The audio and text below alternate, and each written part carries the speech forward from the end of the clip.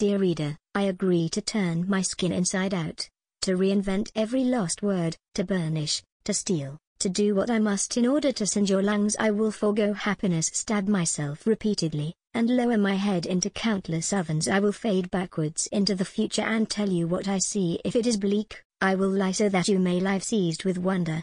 If it is miraculous I will send messages in your dreams, and they will flicker as a silvered cottage in the woods, choked with vines of moonflower. Don't kill me, reader. This neck has been working for years to harden itself against the axe. This body, meager as it is, has lost so many limbs to wars, so many eyes and hearts to romance. But love me, and I will follow you everywhere to the dusty corners of childhood, to every downfall and resurrection till your skin becomes my skin. Let us be twins, our blood thumping after each other like thunder and lightning.